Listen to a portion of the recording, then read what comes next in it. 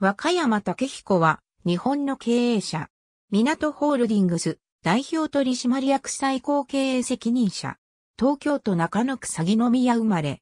1985年麻布中学校、高等学校を卒業1989年東京大学を卒業。同年に本長期信用銀行に入行。資金為替部で外国為替の銀行間、対顧客取引を担当。